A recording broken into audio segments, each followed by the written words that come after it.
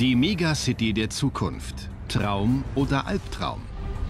Die Städte der Welt wachsen mit rasender Geschwindigkeit und mit ihnen ihre Probleme. Können neue Technologien sie lösen? Schon heute droht den überfüllten und verschmutzten Megametropolen der Kollaps. Etwas muss geschehen, und zwar schnell. Der amerikanische Wissenschaftler Dan Cameron erklärt, welche Technologien die Zukunft unserer Städte verändern könnten. In der heutigen Folge geht es um die Energieversorgung. Städte brauchen eine zuverlässige, sichere und saubere Energiequelle, sonst können sie nicht funktionieren. Am Beispiel der Modellstadt Ecopolis vergleicht Dan Cameron innovative Technologien. Wir haben nur noch wenig Zeit, die richtigen Technologien zu entwickeln. Wir müssen jetzt anfangen.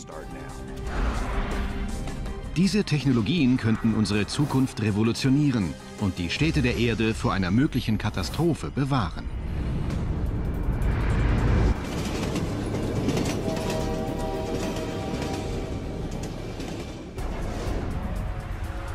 Ecopolis, Megacity der Zukunft mit 18 Millionen Einwohnern.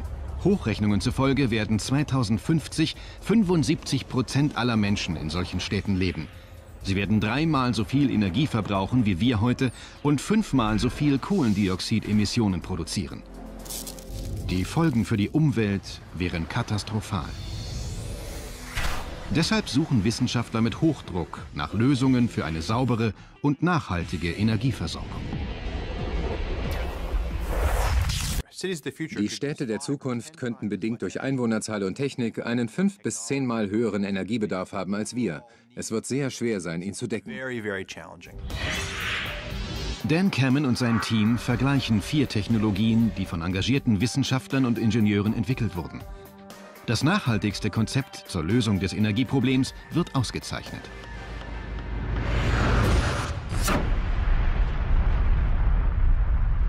Die Verbrennung fossiler Brennstoffe ist der größte Verursacher von Treibhausgasemissionen.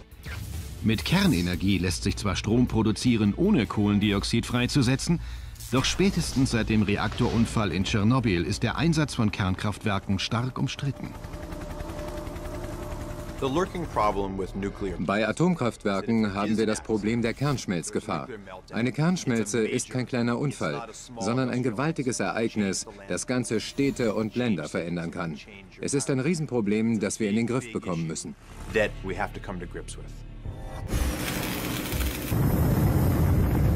Inzwischen gibt es eine kühne Technologie, die sich die Macht des Atoms auf sichere Art und Weise nutzbar machen will. Vorbild ist die Energiequelle der Sonne und der Sterne. Mit nur minimalen Mengen Treibstoff sollen ungeheure Mengen Energie erzeugt werden.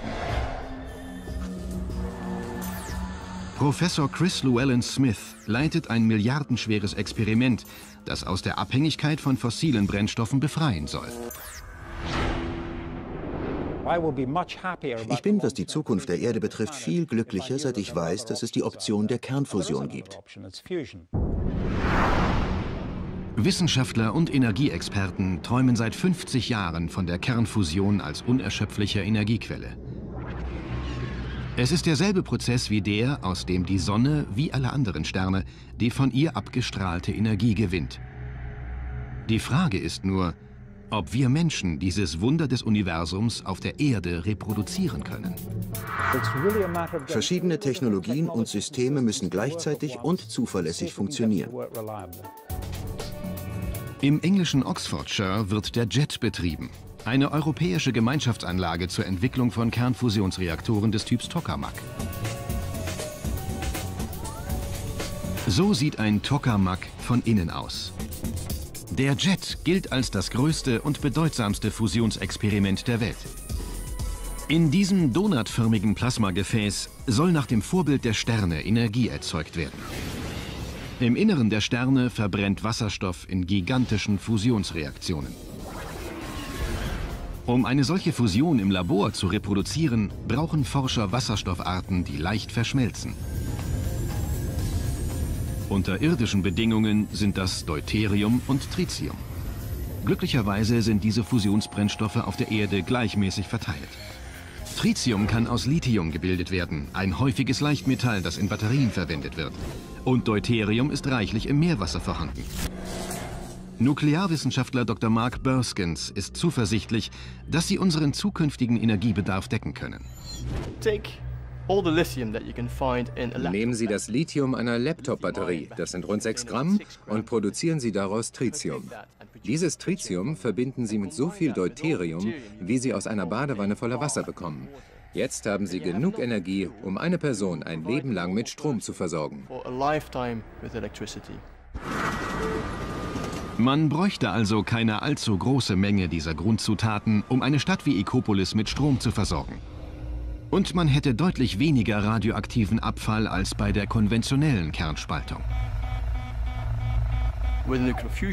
In einer Fusionsanlage entsteht Atommüll, der nur für kurze Zeit radioaktiv ist. Doch eine Kernfusion ist ein höchst komplizierter Vorgang.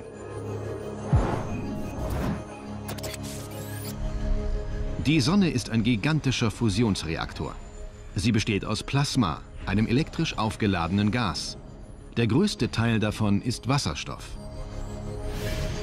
Im Inneren der Sonne ballen sich unter der Wirkung der Gravitation riesige Atomwolken zusammen.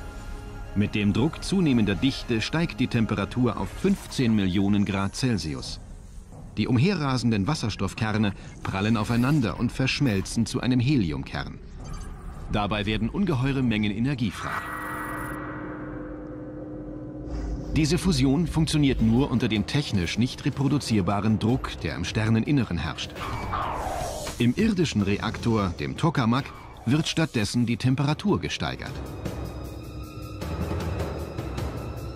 Um die Fusionsreaktion in Gang zu setzen, müssen im Tokamak unvorstellbare 150 Millionen Grad Celsius herrschen, zehnmal heißer als der Sonnenkern.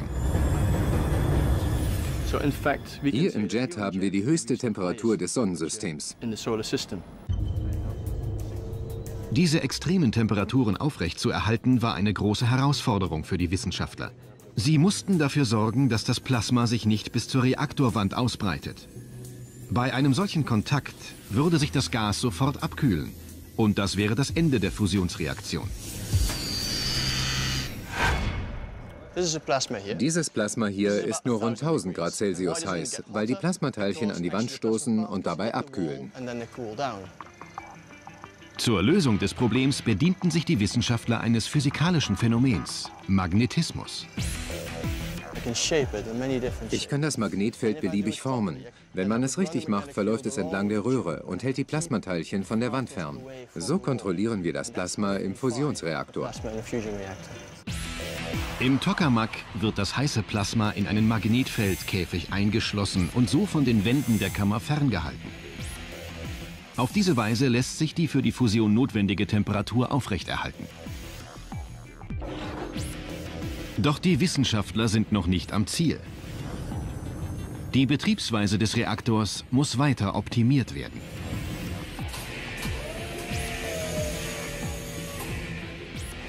Sie überwachen den Vorgang vom Kontrollraum aus. Es ist so, als ob man in einen Stern hineinschaut. Das Schauspiel beginnt. Das Wasserstoffgas wird eingeleitet und aufgeheizt, bis es sich in seine Kerne und Elektronen zerlegt. In diesem superheißen Plasma rasen die Atomkerne um die Magnetfeldlinien herum, stoßen gegeneinander und verbinden sich zu Helium, genau wie in der Sonne und setzen dabei eine ungeheure Menge Energie frei.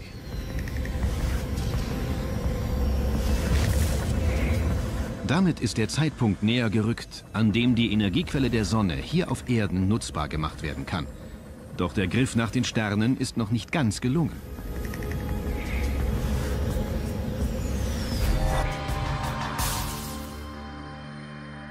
Denn es gibt einen Haken.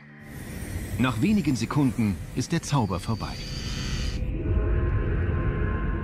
Die Magnetspulen des Tokamak sind einer immensen Belastung ausgesetzt. Sie müssen gekühlt werden, damit sie nicht zu heiß werden, sonst könnten sie schmelzen. Der Jet Tokamak ist bislang maximal 20 Sekunden in Betrieb und setzt deshalb weniger Energie frei, als für die Erhitzung des Plasmas benötigt wird. Die Rechnung geht also noch nicht auf.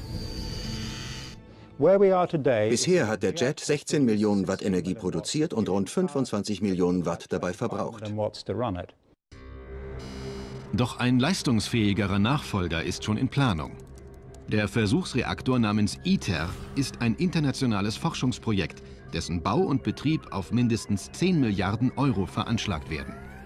Der ITER wird andere Magnetspulen verwenden, die weniger Energie verbrauchen.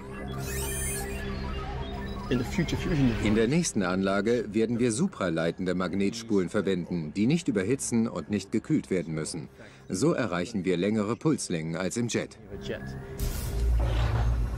ITER soll dadurch zehnmal so viel Energie erzeugen können, wie er benötigt, um das Plasma zu erhitzen. Wenn alles nach Plan verläuft, könnte schon 2050 durch Kernfusion Strom erzeugt werden. Ich bin relativ zuversichtlich, dass wir in ungefähr 30 Jahren Strom ans Netz liefern werden. Ist Fusionsenergie die beste Lösung für die Städte der Zukunft? Dan Cameron wird sich noch mit drei weiteren Technologien beschäftigen, bevor er sich für das überzeugendste Konzept zur alternativen Energiegewinnung entscheidet. Dazu wertet er die Daten aus, die ihm seine Mitarbeiter liefern. Sie ermitteln die Auswirkung aller Technologien auf die Kohlendioxidbilanz der Modellstadt Ecopolis. Wie wird die Kernfusion als erster Kandidat abschneiden? Das Ergebnis könnte auf den ersten Blick nicht besser sein. Bei dieser Art der Energieerzeugung würde keinerlei CO2 mehr durch Stromverbrauch entstehen. Allerdings ist die Fusionsforschung noch nicht so weit. Die Entwicklung dieser Technologie wird noch geraume Zeit in Anspruch nehmen, bevor sich tatsächlich Strom damit gewinnen lässt. Die zentrale Frage bei der Kernfusion ist die der Machbarkeit. Nutzen und Risiko sind immens. Wenn sie funktioniert, hat sie viele Vorteile. Wenn wir viel Zeit und Geld investieren und sie funktioniert nicht, sind wir aufgeschmissen. Doch auch wenn es einen Durchbruch in der Forschung geben sollte, hat Cameron noch Bedenken. In unsicheren Zeiten ist es riskant, von einer zentralen Stromversorgung abhängig zu sein. Je größer die Städte werden, desto länger und störanfälliger werden die Versorgungswege. Wenn etwas passiert, gehen alle Lichter aus. Das kann bei der nächsten Idee nicht passieren. Hier gibt es keine Versorgungswege. Diese Technologie schwebt gewissermaßen über den Dächern der Stadt. Ein Mini-Kraftwerk für jedes einzelne Haus, inspiriert durch die Magnetschwebebahn. Windkraft. Die Menschen machen sie sich schon seit Jahrtausenden zunutze. In städtischen Gebieten werden die Winde allerdings durch die dichte Bebauung behindert. Zudem haben klassische Windräder einen großen Platzbedarf. Deshalb gibt es sie fast ausschließlich auf dem Land. Der Kanadier Jim Rowan will das ändern. Der Ingenieur für Radartechnik hat sich der Windkraft zugewandt und will die Dächer der Stadt nutzen, um Wind in Energie zu verwandeln. Jeder hat ein Dach und jedes Dach kann mit einer Windturbine ausgestattet werden. Auf diese Weise könnten wir unglaublich viel Energie gewinnen. Viele Experten sind der Ansicht, dass die Windverhältnisse in städtischen Gebieten für Windkraft ungeeignet sind. Doch Jim Rowan war sicher, das Problem lösen zu können. Als erstes simulierte er die Windströmung um die Häuser. Dieses Experiment demonstriert den sogenannten Dacheffekt. Der Wind weht nicht um das Haus herum, sondern über das Dach hinweg. Zu wenig Wind gibt es auf dem Dachfirst also nicht. Dafür aber Windwirbel, die den Wind in verschiedene Richtungen wehen lassen. Auch flache Dächer haben diesen Effekt. Konventionelle Windturbinen haben Schwierigkeiten mit solchen Turbulenzen. Das Dach verursacht Turbulenzen. Wenn der Wind aus mehr als einer Richtung auf die Turbine trifft, blockiert sie und funktioniert nicht. Jim Rowan erkannte, dass sich herkömmliche Modelle nicht für seine Zwecke eigneten und beschloss, ganz von vorne anzufangen. Eines Nachmittags, als wir einen Entwurf nach dem anderen machten, kam uns die Idee für die Form. Es war wie eine Eingebung. Die neue Windturbine ist ein sogenannter Vertikalachsenrotor, bei dem sich die Rotorblätter horizontal drehen. Sie nimmt den Wind aus allen Richtungen auf, auch bei geringeren Stärken. Die Windgeschwindigkeit beträgt nur etwas über zwei Stundenkilometer. Es funktioniert auch, wenn er aus allen Richtungen gleichzeitig kommt. Der Prototyp der Turbine soll jeden Windhauch nutzen. Jim Rowan hat ein Testmodell gebaut, das sich im täglichen Einsatz bewähren und Doug Fowler und seine Familie mit ausreichend Energie versorgen soll. Wir zahlen den gewerblichen Strompreis, weil wir so viel verbrauchen wie vier Häuser. Überall wird immer mehr Technik eingesetzt. Deshalb soll sich der Stromverbrauch bis 2050 mehr als verdoppeln. Den Strombedarf der Fowlers zu decken, wird allerdings nicht einfach sein, weil hier nur ein laues Lüftchen weht. Auf Ducks Dach setzen wir eine große Schaufelform, die auch bei minimalem Wind Strom erzeugt. Wenn wir an einem ungünstigen Aufstellungsort zuverlässig 5 Kilowatt Strom erzeugen können, sollte es an günstigeren Aufstellungsorten erst recht funktionieren. Doch wenn die Windturbine besonders groß ist, produziert sie entsprechende Geräusche und Vibrationen. Eine weitere Herausforderung für den Erfinder. Das Problem einer Windturbine auf dem Dach ist die Vibration. Sie kann das Dach einstürzen lassen. Jim Rowans Projekt drohte das aus, bis ihm schließlich die rettende Idee kam. Er erinnerte sich an den deutschen Transrapid, eine Magnetschwebebahn, die auf der Basis von magnetischer Anziehung funktioniert. Wenn man einen Zug in der Schwebe halten kann, sollte es auch mit anderen Dingen möglich sein. Wir versuchten also, diese Technik bei unserer Windturbine anzuwenden. Magnetschwebebahnen werden von großen Magneten in der Spur gehalten. Ein elegantes Design, das auf simplen Prinzipien beruht. Jeder Magnet hat zwei Pole. Entgegengesetzte Pole ziehen sich an. Gleiche Pole stoßen sich ab. Jim Rowans Windturbinen nutzen die Kraft der Abstoßung. Je näher sich zwei gleiche Pole kommen, desto stärker wird die Kraftwirkung des magnetischen Feldes. In diesem Experiment ist sie so stark, dass die mit fünf Menschen beladene Turbinenplattform in der Schwebe gehalten wird. Da es keine Reibung gibt, lassen sich Vibration und Geräusche erheblich reduzieren.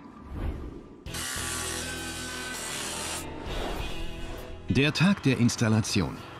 Die verschiedenen Bauteile werden auf das Dach montiert. Jim Rowan liefert die Testturbine persönlich. Ein Kran befördert das Windrad auf das Scheunendach.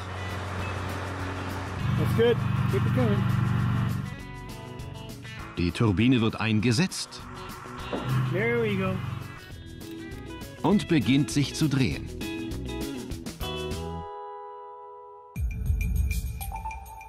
Es funktioniert. Die Windturbine schwebt über dem Dach. Es dürfte also praktisch keine Vibrationen geben. Die Einsturzgefahr ist damit gebannt. Die vom Wind angetriebenen Rotorblätter erzeugen Energie. Doch wie wird diese Energie in Strom verwandelt? Auch hier ist wieder Magnetkraft im Spiel. Am äußeren Rand des Rotorfußes sind Magneten angebracht. Innen befinden sich Kupferspulen. Durch die Drehung des Rotors bewegen sich die Magneten an den Kupferspulen vorbei. Dabei wird Elektrizität erzeugt. Die Frage ist nur, wie viel diese Windturbine erzeugen kann. Das bleibt abzuwarten. Jim Rowan ist aber jetzt schon sicher, dass sich diese Form der Stromerzeugung durchsetzen wird. Ich würde gerne auf jedem Dach eine Windturbine sehen. So könnten die Menschen überall Energie erzeugen. Platz gibt es reichlich auf den Dächern einer Stadt. Würde es sich lohnen, ihn für Windenergie zu nutzen? Energieexperte Dan Cameron wertet die Zahlen aus. Sein Fazit? Keine Verbesserung der CO2-Bilanz. Der Einsatz von Dach-Windturbinen würde den CO2-Ausstoß der Modellstadt Ecopolis um nicht mal ein Prozent reduzieren.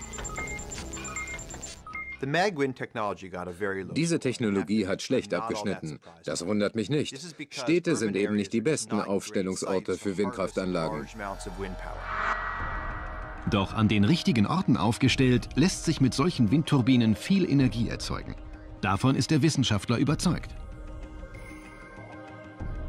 Es wäre interessant, dieses Modell für größere Höhen auszulegen, weil die Windressourcen ganz weit oben ergiebiger sind.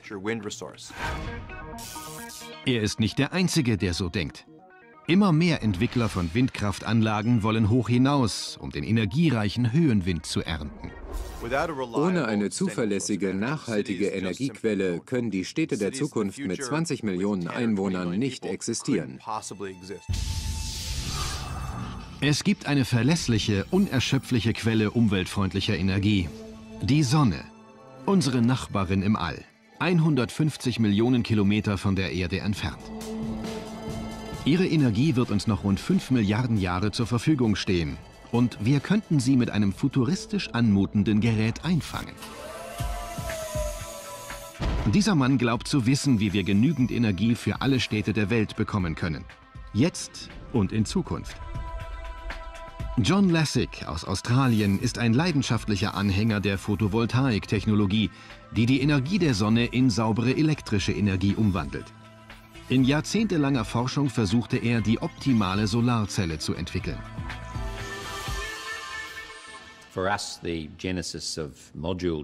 Unsere Modulentwicklung begann mit dieser kleinen Solarzelle.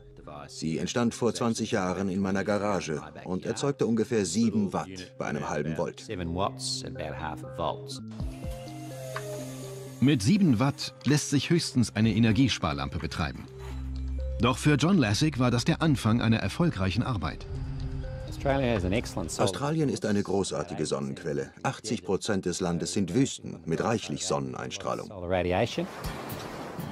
Ähnlich wie in den Wüsten Nordafrikas gibt es auch in Australien mehr als genug Sonnenenergie, um die ganze Welt mit Strom zu versorgen. Und Solarzellen sind bereits vielfach erprobt. Warum werden sie dann nicht im ganzen Land flächendeckend eingesetzt? Auf jedem Dach und an jeder Hauswand? Ganz einfach. Konventionelle Solarzellen werden aus teurem Silizium hergestellt, sind also nicht gerade kostengünstig. Außerdem geht fast 90 Prozent der einfallenden Sonnenenergie verloren. Die Effizienz ist mit ungefähr 10 Prozent ziemlich niedrig. Kohlekraftwerke haben dagegen eine Effizienz von 25 bis 35 Prozent. John Lassig brauchte nicht lange, um zu erkennen, dass er das Sonnenlicht bündeln musste, um mit weniger Solarzellen mehr Energie erzeugen zu können. Sonnenstrahlen lassen sich am besten mit Hilfe eines Spiegels konzentrieren. Das ist ein maßstabsgetreues Modell einer sogenannten Konzentratoreinheit. Diese gekrümmten Spiegel reflektieren alles einfallende Licht auf den Empfänger dort oben. In dem Empfänger befinden sich Solarzellen, die diese intensive Energie gleich in Elektrizität umwandeln. In Originalgröße ist die Konzentratoreinheit 14 Meter hoch und besteht aus 112 gewölbten Spiegeln. Sie werden dem Lauf der Sonne nachgeführt und fokussieren das gebündelte Sonnenlicht auf ein kleines Solarzellenquadrat. Doch das sind keine gewöhnlichen Solarzellen. John Lassig wollte eine besonders effiziente Anlage bauen und dafür brauchte er besonders effiziente Zellen. Diese Art Solarzellen sind auf dem roten Planeten im Einsatz. 2003 schickte die NASA zwei Roboterfahrzeuge auf den Mars, die Terrain und Gestein des Planeten analysieren sollten. Die einzige verfügbare Energiequelle dort ist die Sonne. Doch da der Mars wesentlich weiter von ihr entfernt ist als die Erde, ist die Sonneneinstrahlung entsprechend geringer. Die NASA musste also ganz besondere Solarzellen einsetzen, um die Energieausbeute zu maximieren. Sonnenlicht besteht aus Photonen, die, je nach Wellenlänge des Lichts, bestimmte Mengen an Energie enthalten. Wenn diese Photonen auf das Silizium in einer Solarzelle treffen, schießen sie die Elektronen aus ihrer Bahn.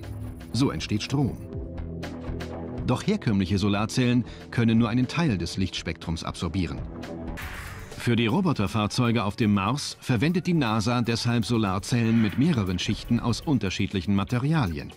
Da jede dieser Schichten Licht eines anderen Wellenlängenbereichs absorbiert, gehen weniger Photonen verloren. Das solare Spektrum wird viel besser ausgenutzt. Diese Solarzellen versorgen die Roboter mit dreimal so viel Strom wie herkömmliche Zellen. Das war genau das, was John Lassig wollte. Doch es gab noch ein Problem. Seine Spiegel bündeln das Sonnenlicht so effizient, dass zwei von ihnen ausreichen, um innerhalb von wenigen Sekunden Holz zu entzünden. Eine ganze Konzentratoreinheit verstärkt das Sonnenlicht 500-fach. Dabei kommt es zu extremer Hitze. Bis zu 1000 Grad Celsius werden erreicht. Bei dieser Temperatur könnten die Solarzellen zu einem Häufchen Asche verglühen. Uh, die Lichtintensität entspricht der von 500 Sonnen. Da würde sogar Stahl schmelzen. Wir müssen also die Temperatur steuern, damit die Solarzellen lange und effizient funktionieren. John Lassigs Team löste das Problem durch ein inzwischen patentiertes System, das die Wärme abführt. Es ist ein äußerst effizienter Kühlkörper, der die Zellen auf unter 60 Grad Celsius abkühlt. Ein erstes Konzentrator-Solarkraftwerk mit zehn Einheiten erzeugt seit 2003 im Bundesstaat South Australia elektrischen Strom. Unser Durchbruch war die Entwicklung eines Solarmoduls, das 1500 Mal leistungsfähiger ist als ein herkömmliches Modell gleicher Größe.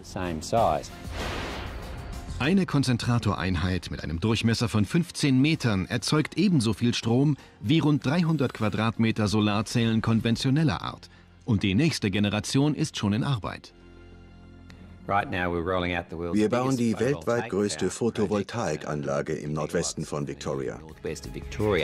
Das Solarkraftwerk soll 45.000 Haushalte in dem australischen Bundesstaat mit Strom versorgen.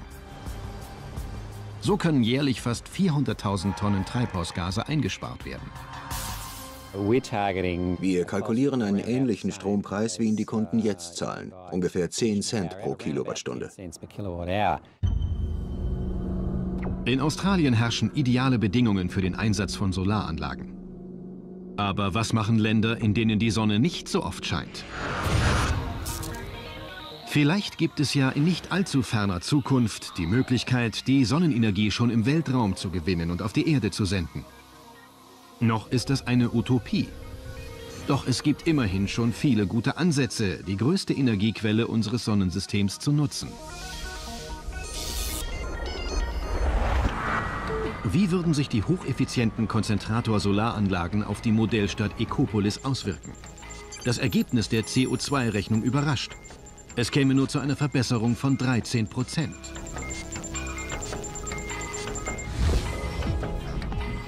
Das Problem sind die Schwankungen der Sonnenstrahlung. Doch Dan Cameron ist überzeugt, dass sich Solarenergie bald besser speichern lassen wird. Die derzeitigen Batterien sind nicht besonders kosteneffizient, aber sie sind okay. Wenn wir unsere Aufmerksamkeit intensiver auf die Erforschung alternativer Speichermöglichkeiten richten, lässt sich das Problem sicher leicht lösen. Sobald das Speicherproblem gelöst ist, könnten Konzentrator-Solaranlagen den durch Stromverbrauch verursachten CO2-Ausstoß auf Null senken. Die bisher vorgestellten Technologiekandidaten hatten ein gemeinsames Ziel. Die Unabhängigkeit von fossilen Brennstoffen. Der vierte Kandidat hat einen anderen Ansatz. Die Kohlekraftwerke sollen bleiben und von nun an klimafreundlichen Strom erzeugen. Zu diesem Zweck haben Wissenschaftler Verfahren entwickelt, die die CO2-Emissionen reduzieren könnten. Durch chemische Prozesse und unterirdische Lagerung soll der Klimakiller Nummer 1 in einen sauberen Energieträger verwandelt werden. Für den Geologen John Caldy ist das der einzig sinnvolle Ausweg aus unserem Energiedilemma. Schluss mit Kohle? Wir haben tausende von Kohlekraftwerken, die fast unseren gesamten Strom produzieren. Sollen wir alle stilllegen? Das geht nicht. Allerdings bläst ein durchschnittliches Kohlekraftwerk enorme Mengen an Schadstoffen in die Luft. Jährlich bis zu 10.000 Tonnen Schwefeldioxid, das ein Hauptverursacher des sauren Regens ist. Außerdem rund 10.000 Tonnen an Stickoxiden, die an der Smogbildung beteiligt sind und die Atemwege schädigen können. Und nicht zu vergessen, ein einziges Kohlekraftwerk produziert fast 4 Millionen Tonnen Kohlendioxid im Jahr.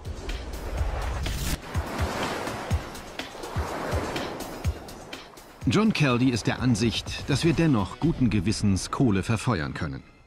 Er ist dafür, das Kohlendioxid abzutrennen und in tiefen geologischen Schichten einzulagern. Die Loy Yang Mine im australischen Bundesstaat Victoria ist das größte Kohlebergwerk der südlichen Hemisphäre. Das angeschlossene Kraftwerk verarbeitet täglich 65.000 Tonnen Braunkohle und produziert dabei ebenso viel CO2 wie 60 Millionen Autos. Der Physiker Paul Farron leitet das Pilotprojekt einer australischen Forschungsbehörde, die dafür sorgen will, dass kaum noch Kohlendioxid in die Atmosphäre entweicht. Dabei soll ein als Aminwäsche bekanntes Verfahren optimiert werden. Das ist eine Miniaturversion des CO2-Abtrennungsverfahrens mit allen Elementen der echten Anlage.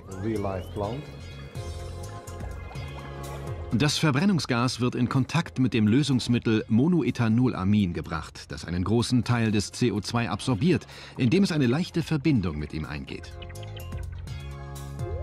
Im nächsten Behälter wird die Aminlösung auf 150 Grad Celsius erhitzt, wodurch sich diese Verbindung wieder löst. Die Aminlösung wird erneut zur Wäsche eingesetzt, während das CO2 für die Endlagerung komprimiert und verflüssigt wird. Soweit so gut. Doch dieses Verfahren benötigt Energie. Das erhöht den Kohleverbrauch des Kraftwerks und verringert seine Effizienz. Wenn man die Effizienz eines Kohlekraftwerks von 40 auf 30 verringert, braucht man 25 Prozent mehr Kohle, um dieselbe Menge Strom zu erzeugen. Paul Farron muss also die CO2-Abtrennung optimieren, sonst wird der Strom zu teuer.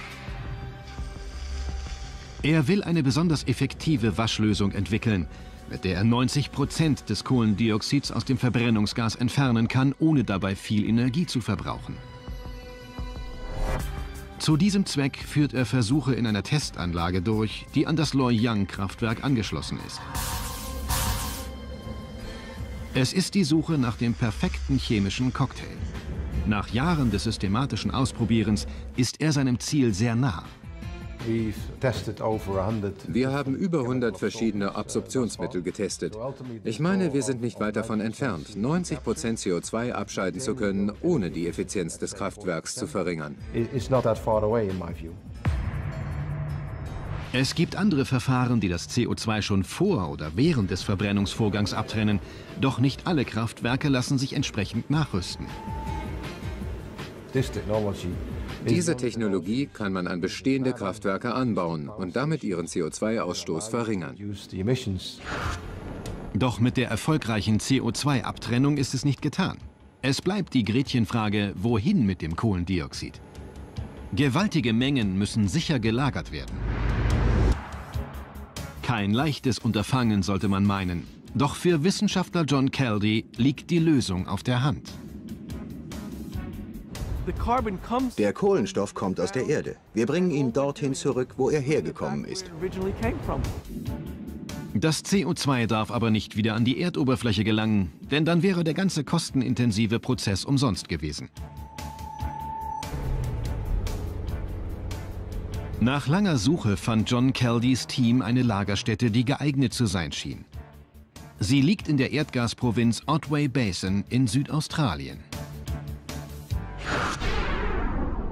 Knapp 2000 Meter unter der Erdoberfläche befindet sich ein ehemaliges Erdgasreservoir, das nach oben durch eine geschlossene Gesteinsschicht abgedichtet ist. Hier sammelte sich über Millionen von Jahren Erdgas an, bis es entdeckt und gefördert wurde.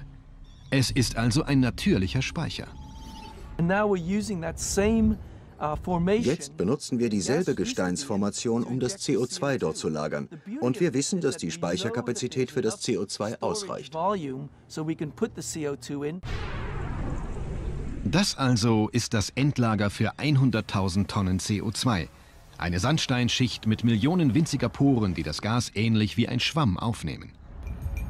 Die undurchlässige Gesteinsschicht darüber wirkt wie ein Deckel und hält das CO2 unter der Erde fest. Ein Team überwacht die Einleitung des Gases. John Keldy ist zuversichtlich, dass das CO2 unten bleiben wird. Sollte sich das CO2 anders verhalten als erwartet, werden wir es wissen, bevor es an die Oberfläche dringen kann. Wissenschaftler schätzen, dass es genügend unterirdische Speichermöglichkeiten für eine Billion Tonnen CO2 gibt. Die weltweiten Kohlereserven sind nicht unbegrenzt, reichen aber noch für mehr als 100 Jahre.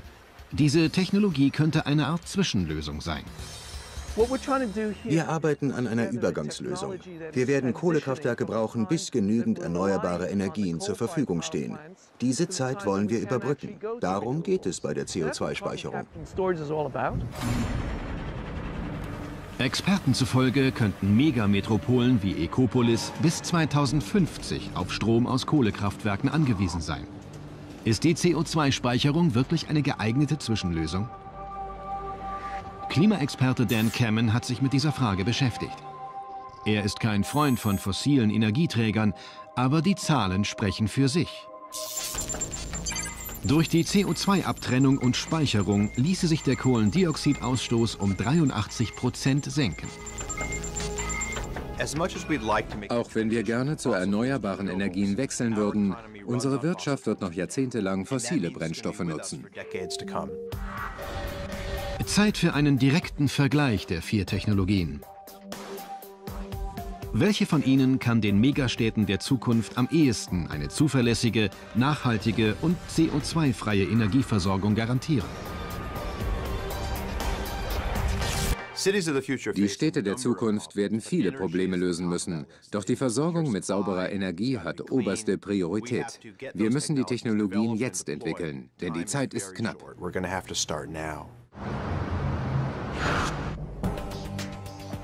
John Keldy setzt auf saubere Kohlekraftwerke. Mit der CO2-Abtrennung und Speicherung unter der Erdoberfläche lässt sich die Kohlendioxidbilanz immerhin um 83 Prozent verbessern. Doch Dan Cameron ist skeptisch, was den Einsatz fossiler Energieträger betrifft. Die CO2-Abtrennung ist eine schwierige Gratwanderung, denn sie lässt sich nicht überall einsetzen. Und die Abhängigkeit unserer Wirtschaft von fossilen Treibstoffen könnte wachsen, obwohl wir zu erneuerbaren Energiequellen übergehen wollen. Der kanadische Erfinder Jim Rowan hat eine Windturbine für Häuserdächer entwickelt. In Städten eingesetzt, würde der Windgenerator nur eine geringfügige CO2-Ersparnis bewirken, was aber nichts an der grundsätzlichen Bedeutung von Windenergie ändert. Mir gefällt diese Idee an sich sehr gut. Nur bezweifle ich, dass sich der Einsatz von lauter kleinen Windgeneratoren bezahlt machen würde. In städtischen Gebieten ist der Windertrag einfach nicht sehr groß. Gleich fällt die erste Entscheidung. Sowohl die CO2-Abtrennung als auch die Windturbinen müssten die Umweltbilanz von Ecopolis deutlich verbessern, um im Rennen zu bleiben. Wir haben so große Energieprobleme, dass ich nur ungern auf eine der Technologien verzichte. Von der CO2-Abtrennung und der Windturbine werde ich mich aber wegen ihrer Nachteile verabschieden müssen. Jetzt bleiben nur noch zwei Verfahren.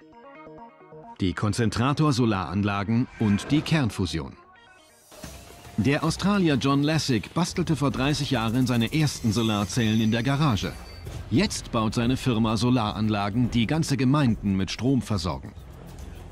Allerdings lässt sich die Sonnenenergie noch nicht effektiv speichern. Deshalb ist die CO2-Ersparnis mit 13 Prozent eher bescheiden. Wenn Solaranlagen in Zukunft einen Großteil unseres Strombedarfs decken sollen, müssen sie die Energie speichern können. Die Batterien müssen also besser werden. Sobald es leistungsfähigere Batterien gibt, kann die CO2-Ersparnis durch Solaranlagen auf 100 Prozent steigen. Die Kernfusion hat dieses Problem nicht, weil sie die Energie der Sonne nicht nutzt, sondern selber erzeugt. Professor Chris Llewellyn Smith und sein Team sehen sie als unerschöpfliche Energiequelle und treiben ihre Entwicklung voran. Die Kernfusion birgt allerdings große Risiken. Noch ist sie lediglich ein Experiment, das mehr Energie verbraucht als erzeugt. Doch die Wissenschaftler glauben, dass sie 2050 einsatzbereit sein wird. Und die CO2-Ersparnis liegt immerhin bei 100 Prozent. Dan Cameron ist dennoch skeptisch. Das Problem mit der Kernfusion ist ihre zeit- und kostenaufwendige Entwicklung. Es ist ein Wabonspiel. Sie soll uns frühestens 2040 oder 2050 zur Verfügung stehen. Das heißt, wenn wir uns jetzt für diese Technologie entscheiden, bleibt die Frage, ob sie einsatzbereit ist, wenn wir sie brauchen. Da bin ich mir nicht sicher. Sowohl Solaranlagen als auch Kernfusionsreaktoren könnten die Megastädte der Zukunft mit CO2-freier Energie versorgen. Gleich wird sich zeigen, welche der beiden Technologien das Rennen macht und die Modellstadt Ecopolis in eine umweltfreundliche Vorzeigestadt verwandelt. Ich entscheide mich nur ungern für eine von beiden. Doch es kann nur einen Sieger geben. Ist es die Solarenergie oder die Kernfusion? Da nur eine Technologie gewinnen kann, entscheide ich mich für die Solarenergie, eine fantastische Ressource.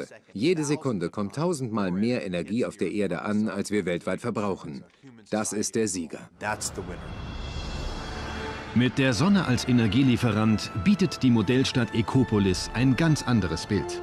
Die Zeit fossiler Brennstoffe ist vorbei. Hunderte höchst effizienter Solaranlagen folgen dem Lauf der Sonne und wandeln ihre Energie in Strom um. So könnten die Megametropolen von 2050 ihren Bewohnern eine lebensfreundliche Umwelt bieten. Sonnige Aussichten für